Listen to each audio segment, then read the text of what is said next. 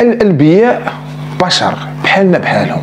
لكن الفرق هو أن الله ارسلهم للإنسان باش يفكروه في الطريق المستقيم اللي كيدي وكيدخل الجنة. الله تعالى خلق بزاف ديال الأنبياء. 124 ألف نبي من آدم إلى محمد صلى الله عليه وسلم. 313 رسول. اللي كلفهم الله تعالى باش يوصلوا الرسالة ديالهم للبشرية. وعندهم كتب مقدسة. الأنبياء اللي مذكورين في القرآن الأنبياء اللي مذكورين في القرآن كاينين غير 25 فقط. هما اللي مفضلين. الرسل اللي كانت رسالتهم إلى البشرية اولا قبل ما نقول لكم شكون الرسل اللي كانت رسالتهم إلى البشرية؟ وشكون الرسل اللي كانت رسالتهم لنفسهم الرسل اللي كانت رسالتهم لنفسهم بزاف لكن الرسل اللي كانت رسالتهم للبشريه كلها كاينين نوح صلى الله عليه آه نوح تعالى إبراهيم موسى عيسى محمد صلى الله عليه وسلم الفرق بين النبي والرسول كل رسول نبي لكن مش كل نبي رسول. الرسول هو اللي أوحى الله له أحكام وشريعة جديدة باش يوصلها للقوم اللي أوحاه الله لهم. أما النبي هو الذي هو الذي أوحى الله له أن يعمل بشرع الرسول الذي كان قبله. خلاصة القول أي أن الفرق بين النبي والرسول هو هذا أن الرسول كيوصل رسالة جديدة النبي ما كتكونش عنده رسالة. كيجي كيكمل على الشريعة والرسالة ديال هذاك الرسول اللي كان قبله. السلام عليكم الخوص. رمضان مبارك كريم وكل آمن وأنتم بألف خير. اليوم جبت لكم موضوع ديال الرسل والأنبياء. غنبدأ معاكم بقصة خلق آدم عليه السلام. إلى نالت الإعجاب ديالكم وكان الإقبال عليها وقلتوا لي في les commentaires ديال في les commentaires ديالكم نكمل معكم هذه السلسلة ديال الرسل والأنبياء من آدم إلى رسول إلى محمد صلى الله عليه وسلم. مرحبا وأنا معكم. اولا غنبدأ معكم بقصة خلق آدم عليه السلام. ربي الله تعالى خلق آدم من طين وكرمه بإيديه ونفخ فيه من الروح ديالو. من سمعت الملائكة. أن الله تعالى باغي يستخلف آدم عليه السلام وذريته وذريته الذريه ديالو يعني الأبناء ديالو باش يعمروا في الأرض. استغربت الملائكة. كيفاش يكون ممن يفسد في الأرض وبسفك الدماء؟ فقالوا أتجعل فيها من يفسد؟ فيها ويسفك الدماء ونحن نسبح بحمدك ونقدس لك. من الله تعالى أتم خلق الله تعالى أتم خلق آدم وأمر الملائكة بالسجود له أجمعين. فسجدت, فسجدت الملائكة استجابة وطاعة لأمر الله سبحانه وتعالى. لكن إبليس كان مرافق للملائكة. إبليس كان مع الملائكة. لكثرة الطاعة ديالو لله عز وجل أبى أن يسجد لآدم.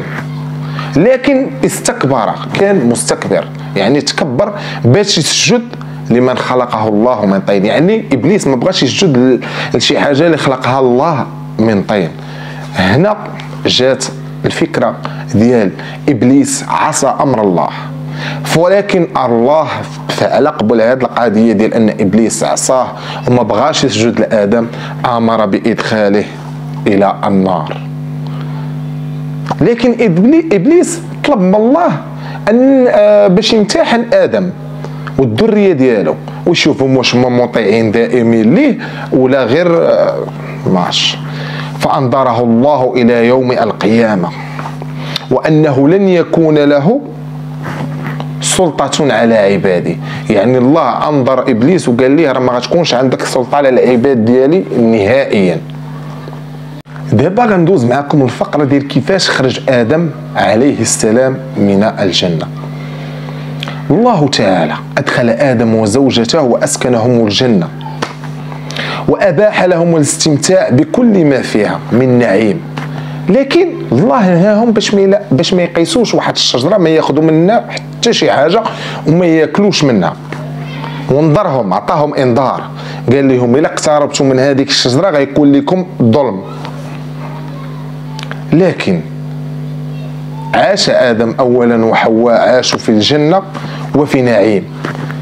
ويجي إبليس أعوذ بالله من الشيطان الرجيم والله يحفظكم من إبليس. وبدا كيوسوس ليهم وكياكل لهم في راسهم. باش ياكلوا من هذيك الشجرة. كيقول لهم راه ما عندكم حتى ضرر باش تاكلوا من ديك الشجرة وراه غتبقاو في الجنة خالدين وراه ما غتعصوش أمر الله راه عادي تاكلوا من هذيك الشجرة. زعما بقى كيوسوس لهم بزاف. كما حنا دابا أصلا هاد البشرية اللي عندنا دابا في هذا القرن الحالي كيوسوس لينا الشيطان وكنوليو دايرين شي حوايج اللي كندموا عليهم من بعد. وأكد عليهم إبليس أنه من الناصحين. وما غيصيبهم حتى ضرر من اكل من الأكل من هذيك الشجره آدم وحواء تغروا بزاف من قول إبليس ومشاو كالوا من هذيك الشجرة. لكن بدت لهم سيئاتهما واخذا يسيران عليه عليها من أوراق الجنة. نعرف أنهم وقعوا في المعصية. يعني غير كلاو من هذيك الشجرة وقعوا لهم شي حوايج اللي غراب. وهذيك الشجرة بحال تكساو منها. وبداو كيسيروا في الأوراق ديال الجنة. هنايا عرفوا راهم عرفوا راسهم أنهم ارتكبوا معصية وكبيره بزاف. من بعد آدم وحواء بغاو يتوبوا وبغاو يرجعوا إلى الله عز وجل. وبغاو يسمح لهم من الذنب اللي اقترفوا كلاو من هذيك الشجرة. وبغاو زعما المسامحة ديال ربي حيت الله غفور رحيم. من هذيك الشجرة اللي نصحهم الله ما ياكلوش منها. الله غفور رحيم كما قلت لكم تاب على آدم وحواء من الذنب اللي داروا. لكن خلى لهم عقاب. عقاب هو أنهم خرجهم من الجنة. تم إخراج آدم وحواء من الجنة وأنزلهم إلى الأرض باش يعيشوا فيها ويديروا فيها ذرية ويولدوا وليدات. وهنا غتجي من بعدها القصة ديال آدم وحواء كيفاش غينزلوا الأرض وغادي يولدوا وليدات. وغيوقعوا بزاف. هنا غيكون أول من بعد غيكون أول جنس بشري اللي غيكون فوق الأرض اللي هو آدم وحواء وغيولدوا أبناء ديالهم. كنتمنى القصة تكون عجبتكم. خليو لي كومونتيرات الا بغيتو التتمه ديال هذه القصة. شنو غادي يوقع لادم وحواء على الأرض من غيولدوا الأبناء ديالهم إلى قصة قادمة إن شاء الله. كان معكم عمر الوهابي.